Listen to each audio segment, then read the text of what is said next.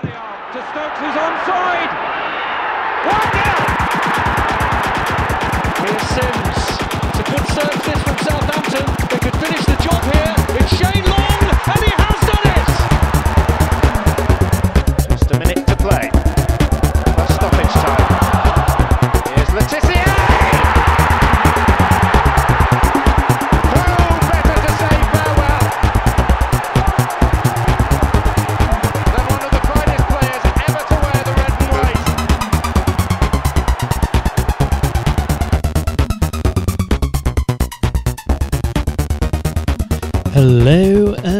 welcome to episode 110 of the Saints FC podcast. With me this evening, I have the illustrious Mr. Tom Parker. Tom, how, how are you? That's very kind. I'm good. Everything's better after a win, isn't it? Everything is better after a win. I was just thinking, I was just listening to that Shane Long commentary, thinking, God, we're going into a semi final again. Yeah. Hopefully, this one's going to be better than the Chelsea semi final a few years ago. final. I know it was 2 0. It's kind of. I don't know what why I don't remember it or anything. What? I, I remember it. I, I actually managed to wangle some corporate tickets for this one. So I had my two normal tickets, which I think me and my brother managed to get through our, our Saints membership. And then I also managed to get two corporate tickets, which meant um, I could take my dad, despite the fact he lived in Portugal and never went to a Saints game that season. This first one was the was the uh, was the FA Cup semi final, courtesy of a uh, energy provider that used to supply my old workplace with energy. Hey, you know, I you know, I I paid I think five hundred odd quid for two club Wembley tickets uh, to watch us lo- cheated against Man United, John. So if you can get the tickets for free, Yeah. take.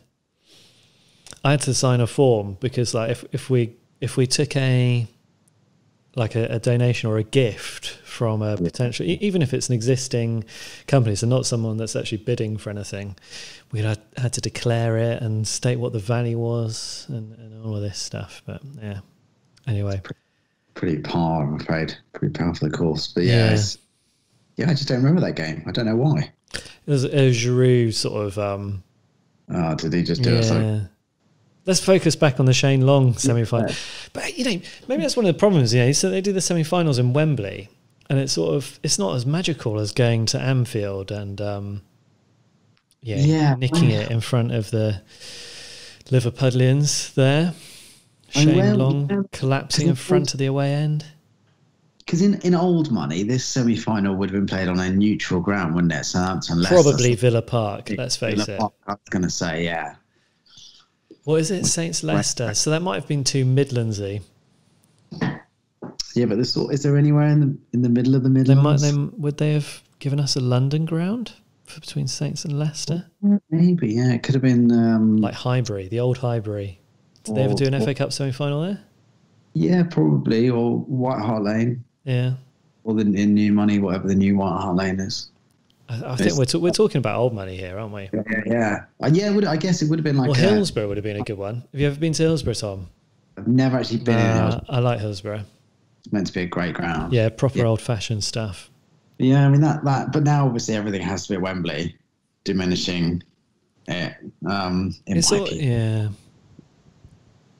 You want to be halfway through the semi final leading and thinking, oh my God, we're going to Wembley. We're going to that terrible pub. Yeah. Terrible pub, great memories. Yes, Lots of stickers of Francis Benali. everywhere. Like in Milan, there was He's everywhere. here, he's there. Um, so, I mean, if we're going to talk about, we- we'll get onto the quarterfinal because we've got some, we've got some other business to get through. But just think about this: was Redmond? This is something, something for you to ponder before we get to the Saints Bournemouth game. Was that Redmond's best game since the first leg of that semi-final against Liverpool? Or was it even better? It's well worth pondering. Yeah. Okay, Tom. Right. So we've got two Premier League games that we have to kind of get through. We're obliged to. Otherwise, we can't get through the season. So we covered every Saints game in, the season. So we're obliged to go through these. Um, the Man City Saints game was on at 6 p.m., which is a time that I am not able to watch football, really. So Yeah, dad myself. It's not a time for football. No, It's just not. no, it just doesn't work. Not it doesn't work with young kids. See also 12 o'clock kickoffs on Mother's Day. No, not As you described it, suboptimal. suboptimal scheduling, please. Yeah. Um, how, how did you wangle that one? I, I made it so that I was cooking a roast that would be delivered uh, at 2 p.m. to the to the dining table. So I thought, you know, I have two hours focused on cooking. So I, I wangled it by over indexing. So I started with uh, Bucks Fizz and uh, ham and cheese croissants in the mornings. Basically, I went big early. Um, flowers from my little girl. I'm, I'm thinking I want to mother your child now. This is uh, and um, uh, you know, I went big, thinking obviously my wife deserves it because she's Yeah. an amazing mother. Also, nothing to do with the fact that there's a Saints game later on. If I invest big early on, I can get Saints. Little did I know that I would have uh, rather have like smashed my head through the oven. uh, Yeah. rather You could have just got a Marmite toast and a coffee, mate, and done without the Saints game. I would have happily, and, and if I'd have known, if I'd have known now, I knew then, I would have happily bypassed that that game. I But- wonder how many um, mothers of Saints fans or you know wives of Saints fans who, who are the mother of their children got an exceptionally good Mother's Day breakfast or dinner to accommodate that game. And then a, a there, there are no winners here apart from Brighton and mothers loosely associated with Southampton Football Club.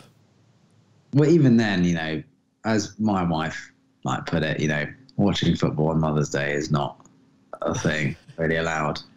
So there's feedback there, and you know, a wiser man than me once said all feedback is a gift. So um, I'll take that on board for next year. Okay. Well, anyway, we'll get to the other awful kickoff. Man City 5, Saints 2. Um, I've just watched the highlights of this, Tom, and uh, I didn't watch the game. I didn't go back and watch the full 90 minutes. Don't really enjoy watching Saints concede five goals that, that frequently. Um, but I did read a couple of the articles about the game, and it was maybe more than meets the eye in terms of the, the scoreline. But um, what I did read is that the defending was absolutely shambolic. So sort of Saints played well, apart from when Man City got near to their box, and then all bets were off. Is that a fair I- assessment? Or I think that's a little bit harsh. So Saints, I mean, Pep Guardiola said that Saints were the best team to come. Did he say or something along these lines? One of the, the best teams to come to the Etihad or played that for the first 20 minutes? Played. but, you know, he says that about teams that they beat. It doesn't say about teams that beat them. He says that, that like you know, like he's like pulling the legs off a spider. Um, Yeah, you're the best. You're the most fearsome creature I've ever come across. the spider as I put my my magnifying glass over you and burn you to a crisp. Um, yeah, uh, well, look, a game of football is obviously ninety minutes long. If it had been twenty minutes long, um, it would have been probably one of Saints' best performances. I mean, like, let's not forget, you know, ravaged by injuries. Um, Well, I- I'm resting a lot of rotating. and resting the players who might even come in with no right back. Um, Man City are just animals as well. Like So, who actually played right back in this game then, Tom? Uh, it was Benrek, I think, wasn't it? Bednarek and Salisu Vestergaard in the middle. Yeah, I think so. Okay. From it seems a long ago. Look, I mean, we lost five two, and that's what the history books will look at. And when yeah, when people look at the scores of this another unbelievable, ridiculous season from Manchester City, it will just say five two, and everyone will go, well, of course, that's what Man City do. But first twenty minutes, Saints were bloody brilliant. They matched Man City man for man. They took the game to them. Um, they had a plan. You know, we had square pegs in round holes.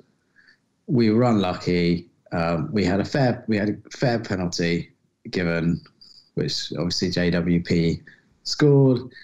And look, you know, we kind of imploded because of self-inflicted mistakes. Um, and whilst of course that is still not good, you know, I the game would have been different had it gone in one all Yeah. Half time. Like we might, we probably still would have lost. Would we have conceded five? I don't think so. But remind me of the score. Was it two one or three one at half time? I think it was three one. So it's, when Man City 1 0, then 1 1 with a James Ward Prowse penalty. Then McCarthy gave away a penalty which wasn't a penalty, which I saw the replay and I don't understand how that wasn't a penalty. Decision. Um, then you had James Ward Prowse nearly lobbing Ed- Ederson. Yeah. That was quite good. That would have put Saints 2 1 up. Um, but then Mahrez scored. Yeah. Yeah. It's just from Che Adams makes a mistake. And, And then, it, then it was 3 1 from a Gundogan rebound off a Mahrez shot. So it was 3 1 at half time. To answer Yeah. your question. And things kind of fell apart. Mm. Um, I mean, Man City make it easy for you to fall apart because of the pressure they put you under and the fact they just don't ever stop. Um, but look, I think, you know, 5 2, it probably didn't flatter Man City.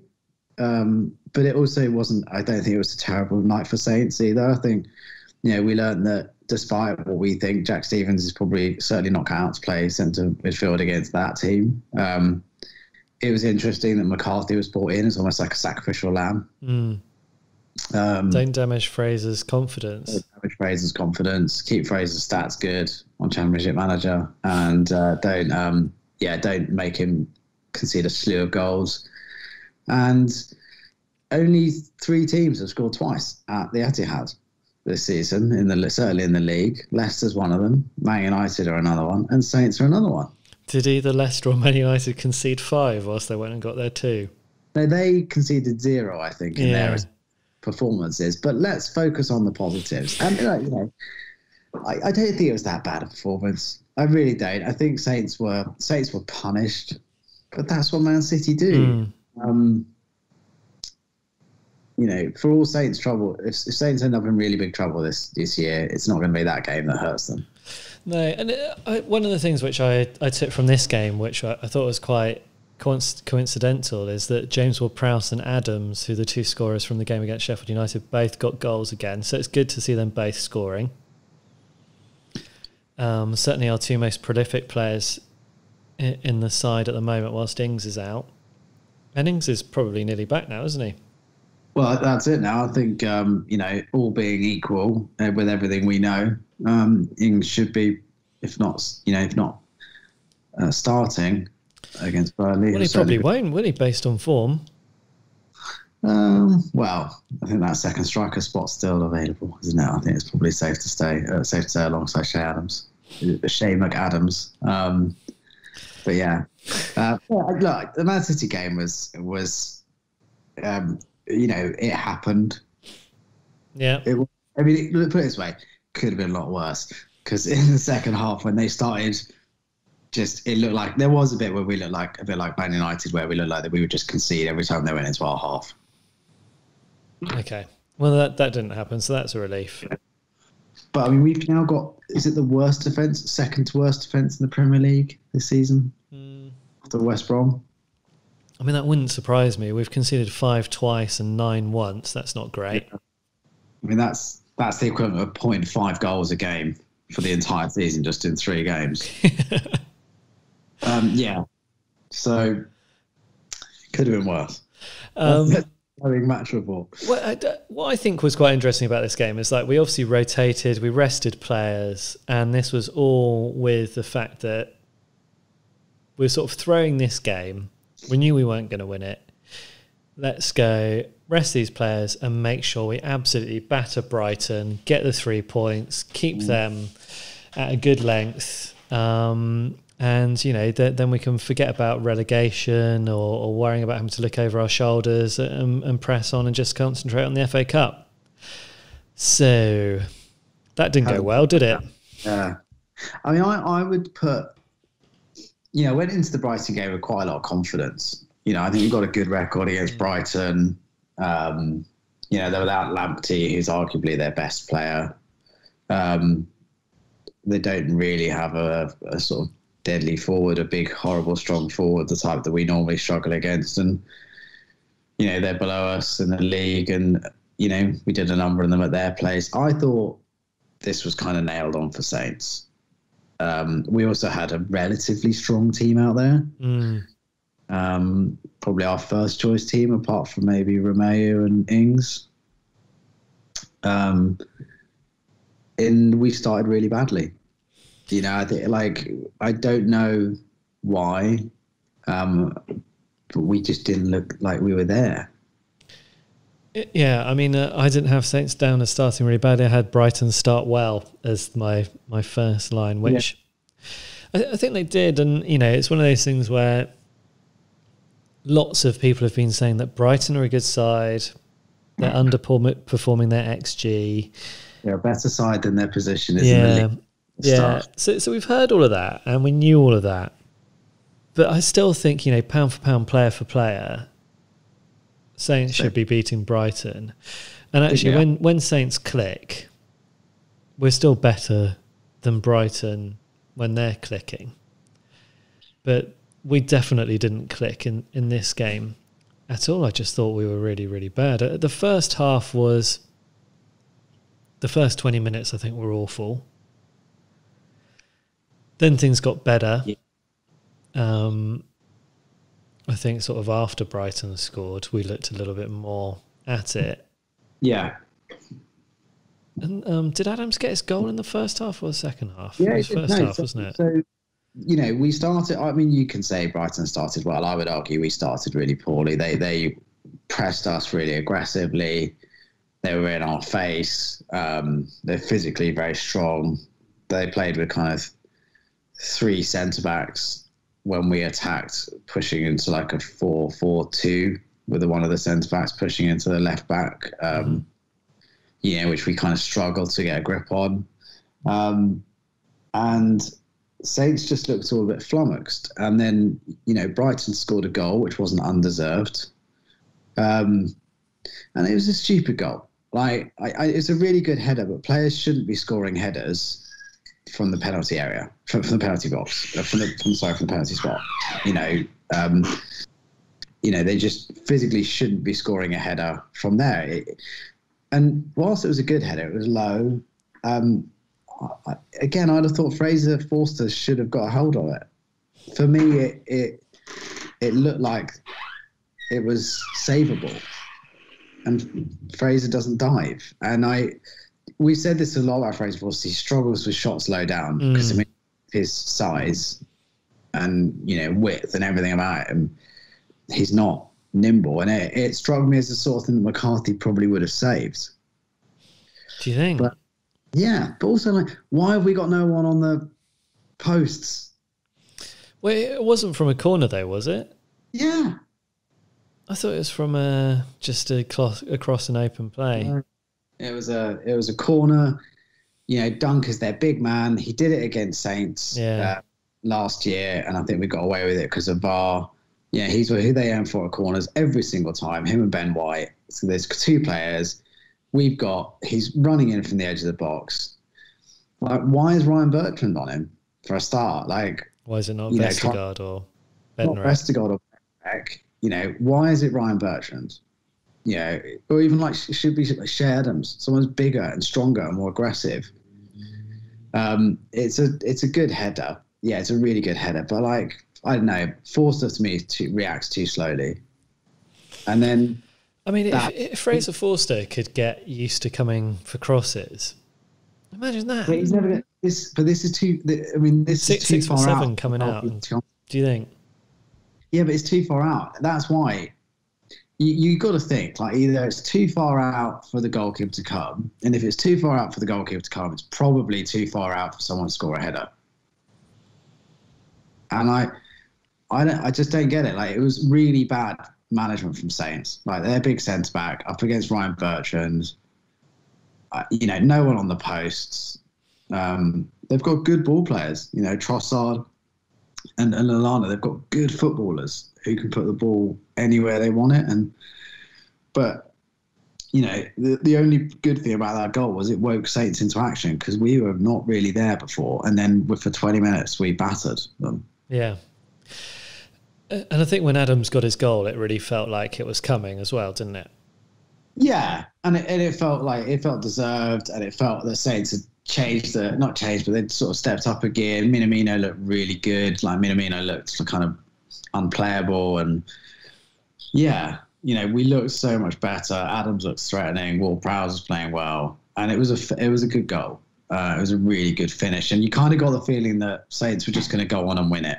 And you know, if they weren't two one up at half time, they'd be two one up shortly after half time, and then go on to win it. And we'd knock this knock the wind out of Brighton, and you know they'd try and attack, and we'd hit them on the counter, and that would be that. And it wasn't thus. And and And, and and do we say you know obvious examples? Let's put those aside.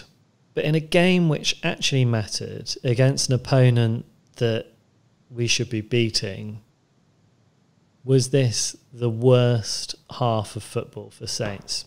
So, so mm. we'll, we'll we'll exclude a couple of obvious examples, maybe the three games we mentioned before. But yeah, this was our Everton from last season. In terms, I, it was so bad. I, it was the first time I've questioned Ralph, to be honest. Like, and that makes me sound like a cult person, but my concern and what made me do- what made me think about it is like if he's if he's taken this group of players as far as he can take them. And I, it was this isn't an original thought. I think I someone tweeted this, and I I agree with it. Saints Saints you know, one of the things you'll hear two things when you listen to a commentator talk about a Southampton game. You'll hear them talk about nine nils, hmm and if Southampton go in front, you will then hear Southampton lose lots of points from winning positions. And I I never thought about why before. I just thought it's something that happens. You know, maybe it's because we press so much we get tired. But the Brighton game was the perfect example. And again, like I can't remember who it was, but they pointed it out. It's like other managers change their tactics. Mm. So Graham Potter sees that what he's doing before is not going to work. Like it's just not going to work, and if it carries on like that, his team are going to lose. Graham Potter changes it in the second half. He just pushes players further forwards and pushes them to press Saints more aggressively. Saints play the same game of football they're playing in the first half. So they're playing. Saints are playing a different team. yeah, You know, they're not playing the same Brighton that was working for them in the first half. They're playing a different Brighton. But Brighton have changed things. And for me, it was kind of the first time I thought, like, maybe about, you know, with Ralph, if, if, you know, he has one way of doing it, which when it works is brilliant. But if it doesn't, then, you know, you got to think about when Ralph's assistant, was it Danny, can't remember, his Klitzenberg, Danny whatever it was. Ryle, a, ki- a kitchen kitchen blitzer. kitchen Blitzer, uh, you know, left to, to join, was it Bayern he joined? And Yeah, you wonder if now, I imagine Ralph's a pretty dominant, forceful personality, and does he have anyone on that bench sat next to him that can turn to him and say, "You need to change it"? You know, that's what good leadership is about: is surrounding yourself with great people that give you difficult words of advice and prompt you to change direction if things aren't going your way. yeah, And Saints don't do that. So Saints will consistently do the same thing and consistently get hurt. And the Brighton second half was the worst second half, worst half of football from Saints this season. Players, even senior players like Armstrong, just looked lost. Um, you know, you could see the frustration amongst the players. You know, you, there, there was a moment when Vestergaard sort of runs forward brings the ball out of defence. You know, this is probably about like 60, 70 minutes into the game. We're chasing a game, horribly chasing a game. And, you know, there's no movement for him. He sort of, you know, or, or Benrick, I can't remember which one, he throws his hands in the air in frustration yeah, and nothing's happening. And, and the worst thing about it, you know, was that Brighton actually had a pretty comfortable second half. We didn't even, we didn't put them on the rack. It wasn't like we tried everything and it just didn't go in. Like you could argue against Newcastle, terrible first half, but in the second half we were just really unlucky. The ball just wouldn't go over the line. This was just something else. This was this was the worst, most disjointed, most dispassionate, dissatisfactory, unprofessional performance you've seen it. It's just saying since Everton last year at home. yeah, And I know, you know, and we've seen some great football in that time, and we've seen some really bad football in that time. But this was worse because you, you'll take a lot. You know, they get hammered. It's going to happen. Right, getting hammered nine 0 was unfortunate. Having it twice is very unfortunate. But the only thing that they can all do is they can at least seem to try. yeah. And if they give up trying, then that, well, then you know, what does that tell you? I don't know. there, there was just like there were absolutely no positives to take No, from the second half. The the closest we got to anything was like Carl Walker Peters sort of stumbling in the penalty area in a half-assed penalty shout. it was never a penalty. I mean, like Brighton aren't that good. Yeah, Brighton aren't actually that good at all. We made them look very good, and they're more aggressive than us. Mm. and that's not something you think you would have said about. You know, we were we were being out for by Lallana. Um, was physically, you know, he wanted it more than the Saints players. They wanted it more, and we were getting bossed. You know, all over the pitch. I mean, this is a it's it's a problem that I think we've talked about. I mean, how long have we been doing this podcast now for, Tom? It was probably since Four years now. it's, I think it's longer than that. We were certainly during Claude Puel era, weren't we? Yeah, yeah. Um, but the amount of times I feel that we've talked about Saints in this sort of situation where they don't seem to understand the urgency of the situation, and, and like you know, I think under Pellegrino, under Hughes, the fans realised that we were in a battle and a fight long before it even occurred to the players. It's like they live in some sort of like dreamland bubble sometimes where they think, oh, everything's going to be fine. We're quite good. We're going to be fine. We don't even really have to try. And it'll work out okay. It's almost like banking on the future rather than actually just dealing, tackling with the issue there and then. Like we need to beat teams that like Brighton, regardless of whether we're a relegation fighting team or whether we're a team that wants to get into Europe or whether we're a team that wants to get into the mid-table. That you have to beat Brighton at home. Yeah, you're you're right. I mean, that's and that is where that's the maddening thing, isn't it, about Saints? This is the totally mad thing. Is that that was a pretty that was a strong team we put out against Yeah. Brighton. That's the first time in a while you could say, you know what, that's back to what resembles nearly a first team. Nine of the eleven probably starters are first team starters, and and I think Diallo is not far off being a you know challenging Romeo for his place. Um, because I still don't know if Walcott, you know, I think Minamino and Walcott are probably interchangeable right now. But what you worry about is the heads go down for Saints, and when they go down, they really plummet. And it's strange because you know I do think we've got some leaders on that pitch. I do think Bednarek is a leader. I do think Forster's probably a leader. Ward Prowse is hundred percent a leader. Um, They're, they're all a certain type of leader, though, aren't they? There, there's no one on the pitch who is a leader in the same fold as like Jose Fonte or Virgil van Dijk was, or you know, let's go back, Franny Benali, or do, you- do you know? Do you know what I mean? There's there's not any one player there who I think is going to rally the players when Yeah, and I think when they need to. Do you know what I mean? Yeah, and I, I think that's what we lost maybe with Højbjerg is we lost someone on the pitch who could get people going. But I mean, our record with Højbjerg was still pretty abysmal. Oh yeah, and we still have performances like this at home against Brighton with Højbjerg in the team. You know, So yeah, as we know, um, you're exactly right. And Glenn Murray still did us every single time when Yeah. Højbjerg was like. I don't know. I mean, it was for me. It was like I say, I've been a fervent, you know, pro Ralph, and I still am. Um, but it was the first time I questioned it because it just because I can see that. Like I don't know anything about football.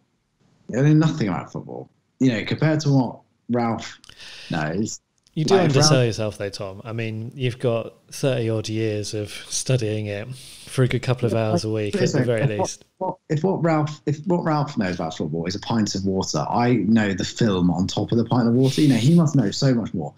But why can they not see this game is is going away? Like Potter just changed his tactics. He didn't like do it massively. He didn't bring on three forwards, or he just literally plonked Bissouma, Lallana, But, but and um, wasn't one of the it- problems though that we did change our tactics in this game in the way that we set up the side against Brighton. yeah, but it this the way that we we were playing well. Yeah, we lost the game initially, We got back on top. We scored a goal. Then Brighton changed, and we didn't change. And another thing with Ralph, and you know, like there are players. Saints have too many players that disappear when the going gets tough, and uh, they're real leaders that step up, like Armstrong and Ward-Prowse. Don't get me wrong, but there's too many players that disappear, and Ralph takes too long to make changes. And everyone laughs at like, you know, like back in the day when Mourinho would take players off after the 30 minutes. But like at the end of the day, it sent a message, didn't it? And you know, people laughed at uh, Tuchel for taking off Hudson Odoi against Saints, Mm. saying it's cruel. Well, you know what? How many goals have Chelsea conceded? Have Saints probably the only team I think to score against the Tuchel team? They've just beat Atletico Madrid two 0 in Madrid. I think like you know it's ruthlessness, and with Saints against Brighton, Minamino, who was very effective in the first half, did nothing Yeah. second half. But it takes him 25 minutes to get taken off. Yeah. Not influencing the game. If you, you know, like Bill Shankly said, if you're not in, like about offside, if you're not influencing the game, you shouldn't be playing. And Saints have too many players that disappear, and you know, it, it was just very distressing to watch. Well, what, one of the um, things which I think is probably most interesting about this Brighton game is I don't think much was said after the Brighton game, but actually Ralph um, said something to Tom Leach in the Daily Echo after the Bournemouth game about the Brighton game, which I thought was was quite interesting. Um, and he said he he had you know very clear meetings this week just gone with the players about what went wrong at, at Brighton, and he said sort of like once the post match dressing room shouting had called, so he's obviously gone in there and laid into them. Um, he sat down with his players, talked through their plan, addressed their concerns, and calmed them for the week ahead. And then took them onto the field at Staplewood to work on what went wrong against Brighton and what they can do better against Bournemouth.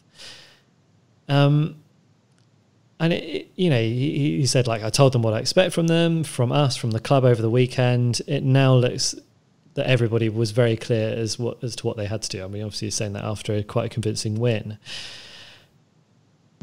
And he's, he also mentions, you know, we were quick, we were not turning back, and we were more in front. And so I think those are maybe the issues that he's noted that that we had against Brighton. And it's an interesting point, you know, whether it should be the changing of the tactics mid game or how do you motivate the players? If the players are not being motivated by a natural born leader on the pitch who can sort of shake them out of their slumber and get them to really focus on, on the task at hand, then Ralph's got to do that from the sideline. And it's not as though they can't hear him. Yeah, you know, that something needs to change in that situation. And uh, sometimes I watch Ralph, and I think uh, this was evident to me during the second half against Brighton, is that when the cameras cut to him on the side of the pitch, he looked quiet and devoid of ideas and shocked, and you know the colour draining from his face, rather than think of Ralph sort of post the first lockdown.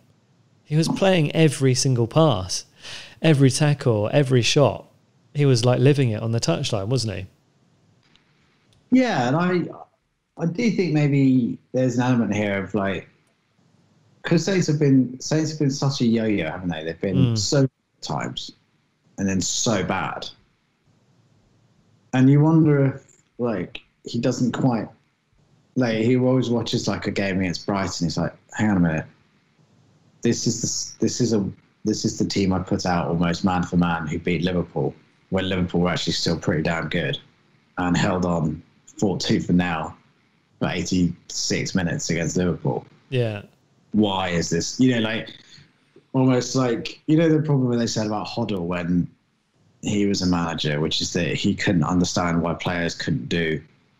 What he Boy. could do. And you know, you hear that a lot, don't you, about like really good players who go manage in lower leagues and they don't understand that the players can't do what they and all their teammates were able to do. And maybe he doesn't understand that the same players can do one thing and then be so terrible. But you know, ultimately he carries the can for it. I Mm. think um, the you know the Brighton game has been a gone. Obviously now it's Burnley that matters, and I, I think Yeah, it, this is a weird time for football, isn't it? I mean, would Saints have played like that had they been at St Mary's and thirty thousand Saints fans would have been pushing them on? Yes, probably would have done. yes, we probably would have done. Fans would have been slagging them off. Um, know, because if anyone has been to Stop passing the ball backwards. don't go backwards. Shoot from 35 yards, even though the XG is going to be minus seven. Why don't you just shoot? Like telling, like you know, Kyle Walker Peters, who's never scored a professional goal in his career, to shoot from 35 yards from the from, from the corner flag uh, angle. Yeah, I mean, I don't know. Look, I mean, it was a terrible game, terrible, terrible, terrible, terrible game. And I don't know what else you can say about it. Well, let's let's move on and uh, forget the Premier League for a few glorious moments, Tom, because overrated anyway, John. yeah, Saints were in the FA Cup quarter final at the weekend. Um, I did manage to watch this again. I was cooking cooking a uh, a roast, a Saturday roast. How's how's that?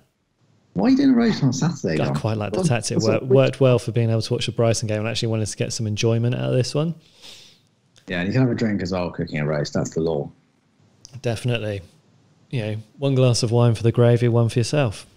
Exactly. So you, so you got to watch this one. Yeah, I, I, I got to admit, Tom, I was a bit worried beforehand because this is sort of like classic FA Cup upset sort of territory with a Premier League team that's in dreadful form, doing really badly, comes up against a championship side who's in pretty good form, chasing playoffs or promotion. And that- two clubs, obviously, as well. Yeah. Spice. Yeah, a li- little bit of spice after we sort of ended any chance of them staying up last season. And and Bournemouth were giving it the big ones before before the game. Yeah. So I was a little bit worried, I've got to admit. And I was really worried that our season would sort of peter out and there'd be nothing nothing from it. But I, I needn't have been worried, Tom, because we we looked like a very good Premier League side playing against a championship side and doing everything that needed to be done and dispatching with them with multiple goals, which could have been quite easily have been more. All of which were good goals Yeah. as well. Um, yeah, it was. It was almost like it was easy, wasn't it? I mean, you can't, you don't often say that with Saints, but it was easy. In many ways, it was easier than the Shrewsbury game. Oh yeah, definitely. It made it look easier than the Shrewsbury game. And I think, I mean, obviously, we've got a much stronger team out there now. But um, yeah, you know, Saints had players there with the point to prove. Um, pretty much, uh, you know, the strongest team Ralph could have named. Mm. Fair play to him. And I guess he, you know, he knows he's got the luxury of going into best part of a two-week international break. So why not play your strongest team? Um, and yeah, we just, you know, we made it was one of those games where even though the difference between the championship and the Premier League is narrower than it's ever been, um, it made you realise why some players are Premier League players and other players are no longer Premier League players. Mm. Uh, exhibit A is Steve Cook, um, who, you know, like is obviously a great professional, and God knows, you know, if someone goes on Wikipedia, you can find out how many games he's played. I imagine it's north of 350 probably, but you know, my God, he looked like he was wanted to die by the end of like the first 60 minutes, didn't he, against Che Adams and against Nathan Redmond and against Djenepo. Na- Nathan Redmond made Steve Cook look look very very silly, but I mean we're we're going to get onto this, and I think we should luxuriate in in this game, Tom. So let's let's start from the start. You weren't far off with 350, by the way. 345. There you go. Yeah, mind you, that's actually just for Bournemouth. God, he's only 29. Yeah, He had a tough paper round, didn't he? uh, 380 games in his career in total. No, 425 if you include all the uh, He's a former Spitfire, John. A former what? Played at Eastleigh. Played 10 games on loan at Eastleigh. Oh, well, there we go. There you go. He's played for every every side on the south coast by let's apart from Yeah, Southampton. Every generic South Coast side, he's, he's, he's had a stint. Yeah. Um, let's talk about that Kyle Walker Peters cross, which was turned in for an own goal. A because I've really enjoyed Kyle Walker Peters' build up play, but B because Bednarek played a ball like he was Jannik Vestergaard. Yeah, and I think that's quite exciting, isn't it? Um, if if we start to have two defenders who can do that, because I don't think that's been in Bednarek's locker, is it? Really? I mean, it, it helped that uh, Bournemouth gave um, Walker Peters the freedom of the South Coast to make that run. Um, Shame he didn't manage to time it so that he wasn't No. offside, but you know. but it, it has been almost probably our most fruitful attacking ploy this season. Maybe apart from direct free kicks, has been that pass. Well, yeah, yeah. I mean, the the Vestergaard to Kyle Walker Peters has been great, and here it was Bednarek doing that that job. Really enjoyed that ball. Really enjoyed the build up play. Really enjoyed the own goal. Didn't enjoy the VAR check so much. No, and it, and it's another one, isn't it, where um, it doesn't. It still looks like they're kind of making it up Mm. because the angle's not right. The angle's are, you know, it's not straight down the line, is it? It's The, what they, if they really want to persevere with this, they just need to have a camera that follows yeah. the ball up and down the side of the pitch.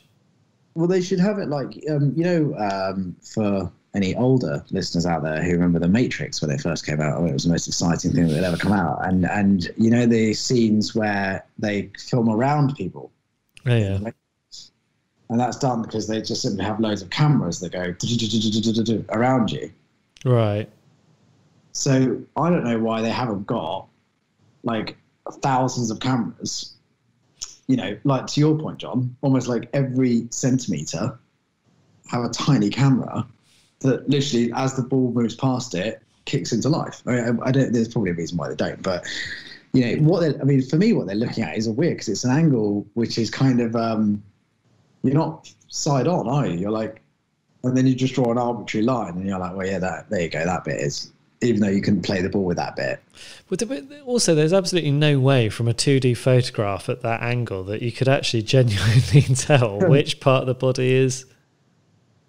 But uh, yeah, and also it goes against um, the spirit of football, doesn't it? Because players are coached to push your body, push your body forward to gain the advantage. Because at the end of the day, you can't touch the ball with your hands anyway. So you, Mm. you yeah, you probably won't touch it with your shoulders. So you should be pushing forward.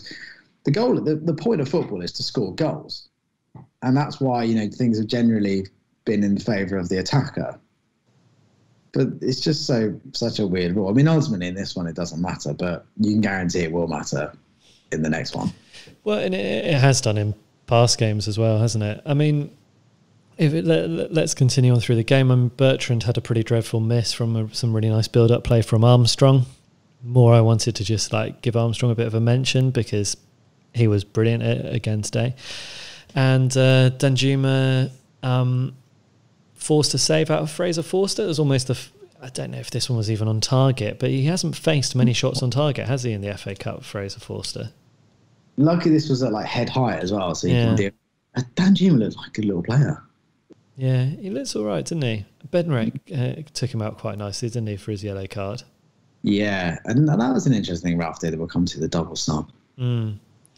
Um, and then we had one of those sort of like Saints d- doing dodgy defending from a, a a free kick cross from deep. But I mean, none, of those really bothered us that much. I don't. I never really felt like we were massively under threat. And then we get to the point where. Um, was it Ward Prowse picks up the ball in midfield, gets it onto Redmond. Redmond goes on a really lovely run and uh, threads a perfectly weighted through ball to Djenepo, who times his run brilliantly, coming from deep, and uh, and slots it away. Fantastic finish. Yeah, a great goal. And I, I, you wonder if this is Redmond's future. You want, you know, you wonder if like Redmond is not ever going to be a centre forward, is he? He's clearly like lacks the finishing guile to do that, and he lacks the kind of um, ability to not panic consistently. You know, like great strikers, don't they? They just Mm. don't like how good Michael Owen was. Went through one on one, never panicked. Just knew what he was going to do the minute he picked the ball up, and then that he did it. Um, you know, Danny Ings is a really good finisher. Nathan Redmond is is not got that level of calmness about Yeah. him. But where Nathan Redmond does seem to be effective for Saints is this thing here where he picks the ball, he drifts between midfield and attack, picks the ball up and finds a pass. And he, he did it against Chelsea with Minamino. And you know, maybe we just need to come to terms with the fact that Nathan Redmond is not going to be a slaloming winger being his man. And Is, instead, it, is this all Claude Puel's fault for mentioning Thierry Henry? Yeah, but the, that, the mad thing is, and, and this was in the, um, I think the Times review of the match picked it up quite well, or the Guardian basically picked up that he's had an interesting career. Nathan Redmond's career has not probably panned out the way they thought it was going to pan out. You know, like second youngest player to ever play for Birmingham after certain Trevor Francis. You know, moved to Norwich, does well in the Premier League, gets relegated, stays in the Premier League with Saints, and you think this is it. You know, the guy's going to kick on, and then he's in fits and spurts. He's done it, and I think maybe, yeah, he's lost his confidence. I think it's two things. He's lost his confidence, and Bertrand isn't the player he was. Mm. So Bertrand before, you know, did those brilliant like gut busting runs behind him, and Bertrand's kind of stopped doing those most of the time. Um, but maybe this is the evolution of Nathan Redmond. He's still only 27. God, it's mad, isn't it? He just seems to have been around forever, and he looks a little bit older. But maybe the evolution of Nathan Redmond is this kind of, you know, player that kind of falls falls ten or whatever it is that drops off the wing, and and you know you can imagine with Saints how much the fullbacks attack. If Redmond drops off and the fullbacks push up, and we've got two forwards, and then you've got Stuart Armstrong running in from the other side, that's overloading the red zone. Fantastic. It's, I mean, it's interesting with Nathan Redmond because he's, he is fr- a frustrating player to watch. I think because you know he's got performances like this one in him, deep buried deep within the bones of his body. And he also was player of the season for us not not long hmm. ago. When Ralph turned up, he was, you know, Ralph, he was like the main man, wasn't he? Yeah, For that sort of run of like 12 games. yeah. After Mark Hughes left and Ralph came in, yeah, he did really really well. And he's obviously, you know, he's played for England, he's played consistently in the England under 21s. He's obviously got real talent. And, you know, we know that his praise is, um, is sort of damning with faint praise. But, um, uh, you know, Guardiola has praised him. hmm And we know on his day, he can be unplayable, but that's the difference, isn't it? He doesn't have many of those days, but you know, bloody hell, give credit where it's due. He had one on Saturday. He doesn't. He doesn't have that many. But then, like, the, you, if we're sort of chasing a game, I'd almost rather have, you know, Redmond and Bertrand is sort of like a. It, it's a safe bet in terms of an outlet. Like you know, you're going to get an attack and a chance out of those two coming out the left wing. Yeah, and I think it, you know Tella is an interesting player. Mm. Against Brighton, Tella disappeared. Yeah. he's just there, and I, I think you know Redmond had that chance in the FA Cup, and he stepped up and he took it. And I think now you know uh, Ralph has a problem against Burnley. Yeah. I, I, I was surprised as well that you mentioned um, Michael Owen already in this podcast, Tom, because I was going to mention Michael Owen for Redmond's second goal. yeah, the 2 0. And uh, this was something that Glenn Hoddle mentioned on the commentary, didn't he? He was obviously manager of England during France 98 World Cup when Michael Owen scored that wonderful goal against Argentina. Can you can you see it in your head? I can. But can you tell me who the defender was that he put on his arse? Was it Pochettino? It was Pochettino? Yeah. Yeah, long-haired Pochettino. Yeah. Um, so yeah, sort of like sprinting past Pochettino, sort of smashing it into the roof of the net. And this this was a you know it was like the Vitality Stadium version. I mean, it wasn't the the problem with the ground, the Vitality Stadium, is the the TV gantry is too low. So Okay. if, if you think of the Michael Owen goal against Argentina, you've got you know from a very high view looking down, and it feels epic. The pitch looks enormous. Yeah. And because the vitality is saying that the camera is a lot lower, you feel a lot you're a lot closer to the pitch. It doesn't look as epic when he does it, but essentially it's sort of going from a similar part of the pitch, ending up in a similar sort of place, running away from everybody, then smashing it into the the top of the the, the goal past the keeper. It was great, really great. And also, um, we can add it to um, the second chest assist of the season. Yes. There's What was his first one? well. The first one was the Che Adams uh, volley against um, Ah, yes. You know, what's not to love about Stuart Armstrong? Even his chest Even is his chest is wonderful. It's just incredible, as I'm sure Mrs. Armstrong will will will testify. um, but yeah, it's but it, but all joking aside, yeah, Armstrong, Nathan Redmond gets the run on everyone. And one of the reasons he probably gets the run is because people are probably like, you know, in that micro millisecond, the Bournemouth players are probably thinking about what Stuart Armstrong is going to do. They're just dazzled by his chest, Tom. They're dazzled by his chest, but all jokes aside, they're probably thinking, right, he's gonna, what can he do from here? He's gonna probably have to like hook a long ball, you know, a slow arcing ball over the top. In which case, it's a foot race. Steve Cook's bigger, he might be able to block it. But instead, because he because he does something completely unexpected, Redmond's gone. You know, by the time anyone realizes what's happening, um, He's off. and he's off. And Steve Cook, it's safe to say, struggled to keep up. It's probably the most polite way of putting it. I did like the photograph of Steve Cook, sort of like on all fours, you know, sorrowfully looking up at Nathan Redmond as he was smashing the ball into the roof of the net. It was, it was very amusing. Yeah, it was. It had a kind of air of um, my probably my favourite non. I have two non-favourite Southampton goals ever. One is Zidane's volley against Bayer Leverkusen, um, and the other one is. Do you remember Mesut Ozil when Mesut Ozil goes through and he's got two defenders and a goalkeeper to beat, and he he basically does what Minamino does. You know, where you put him on his on his backside, but, but like Ozil does it like three times. Yeah. It's Europe against someone, and then just sort of scoops it into the net.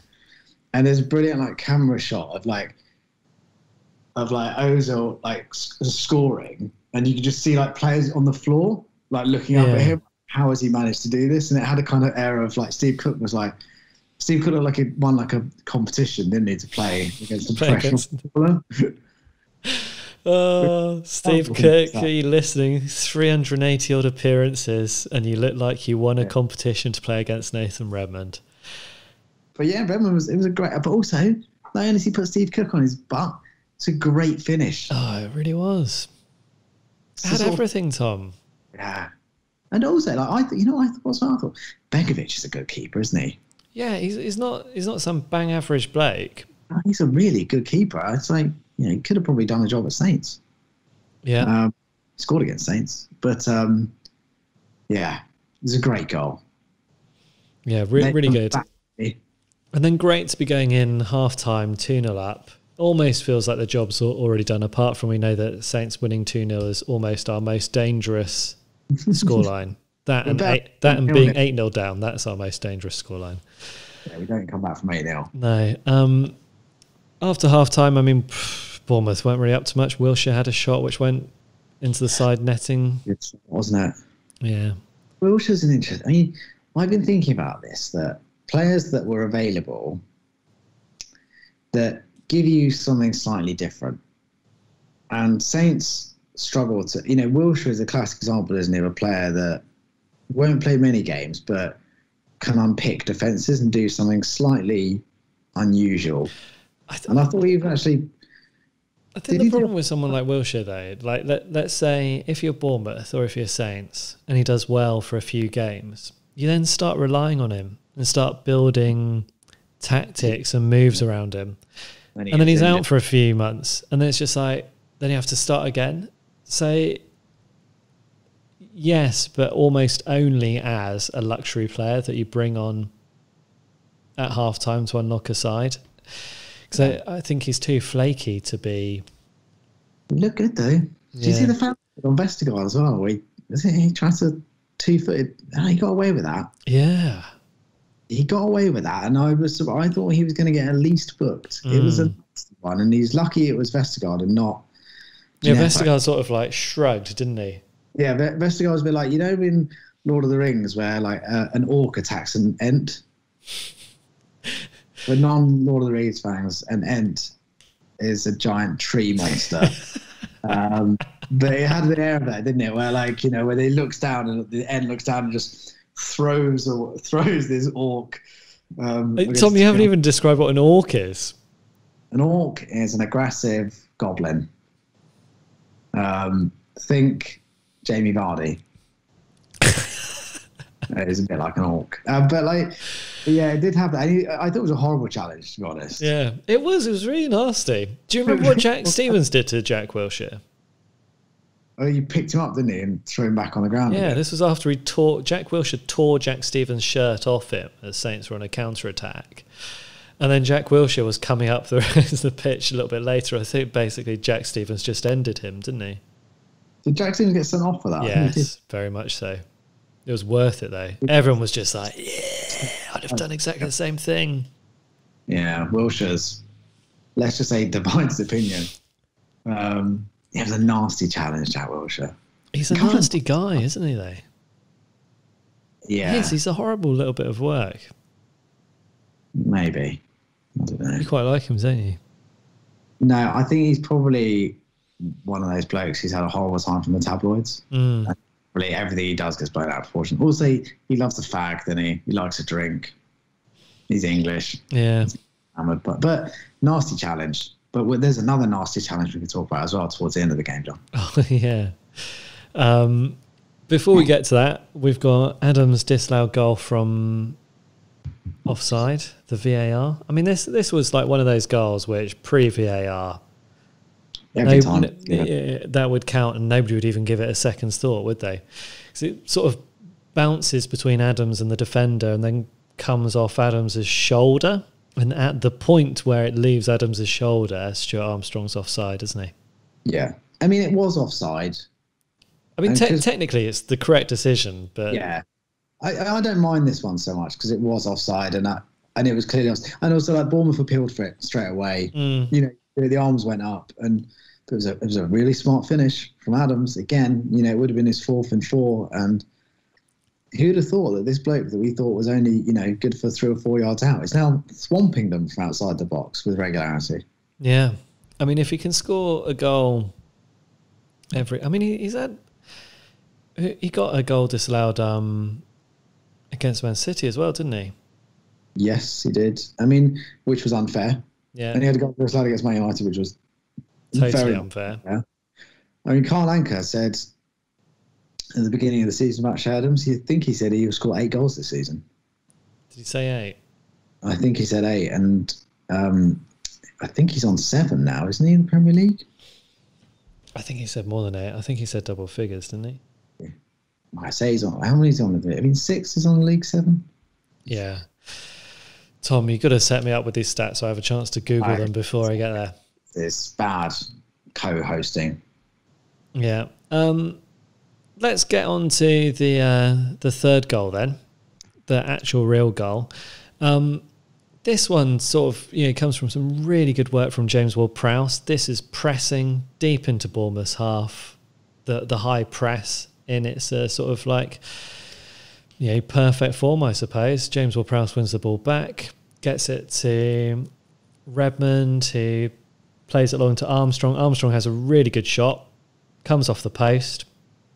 One of the things which does frustrate me about Redmond is he never follows in when someone's taking a shot. Stands there totally still, and the ball comes perfectly back to him, and he can just position it straight back into the corner. It was a great finish, and uh, he was absolutely in the right position. Yeah, and it was, it was reminiscent of the Stuart Armstrong goal.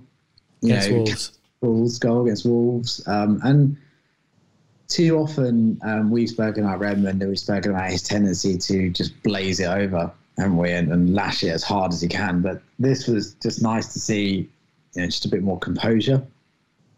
Um, it was a lovely goal. There's so much to like about this goal as well. There's, like you say, there's the high press, there's James Ward-Prowse, there's the beautiful form of Stuart Armstrong running onto the ball and hitting it, pinging it back off the post. Yeah, it was a really good goal. Do you think Stuart Armstrong so special? He was actually always trying to assist Redmond there He's like, by look, I know it back off the post. I know you have confidence, Redders. Have this one, but I'll pass it to you because that's boring. I can do that, but I won't do that. I'll ping it off the post to widen to get you a better angle. That's what he did. And it's such a shame that uh, those two didn't combine again for the, you know, the Redmond hat trick, and it nearly happened, didn't it? I mean, Armstrong ran from deep, absolutely lung busting run. Sort of, I think, runs out of steam a little bit, sort of loses control of the ball, but manages to get it across to Doesn't- Redmond Sort of does a two-footed challenge as well in the middle of Well, it. on the ball. on the ball, which could have been nasty if he caught someone, but we'll let him go. Um, but Redmond just flashes it wide. I mean, that would have been the perfect way for him to bounce back, wasn't it? A hat trick. But you know, he, he was involved in all three goals, one assist, two goals. Man of the match by a mile. Perfect game. Brilliant, brilliant performance. I think he was better against Liverpool at St Mary's in that first leg of the semi-final League Cup. Who got the assist for him in that game? Was that Sims or I can't remember. God, I can't remember that. I just remember being in the Northam and watching that goal that he scored against Liverpool. Just, I was, you know, one of those, you know, when you're behind it and it just all happens in front of you. It's just wonderful. It was a great finish. He look, he's got it in him, and and there's still what six games to go in the season. Five games to go in the season Saints. That's more than that, isn't it? I don't think it is, John. Or is it? Or is it?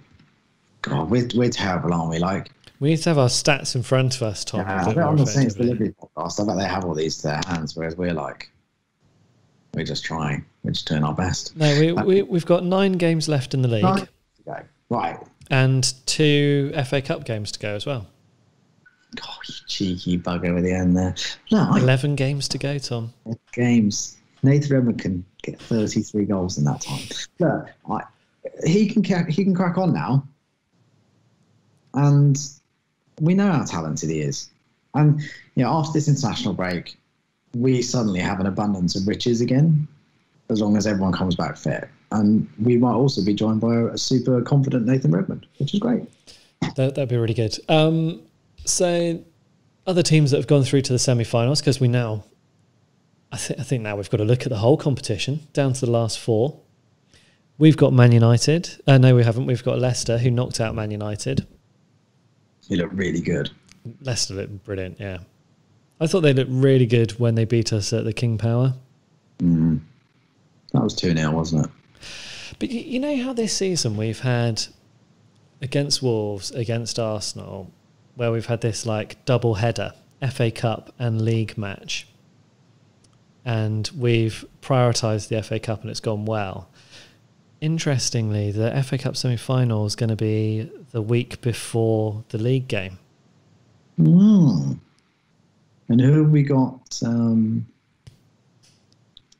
who do we have before?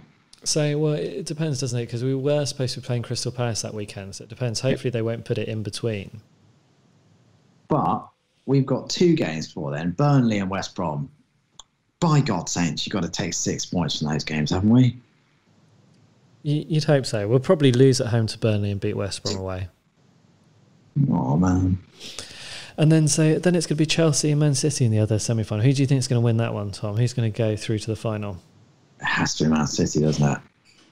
Yeah, I mean, the thing is, I would fancy Saints' chances against Chelsea. yeah, in the final. So would Yeah. I. I, I would fancy that. I wouldn't be just. I wouldn't go into it like I imagine Watford fans went into the FA Cup final against Man City.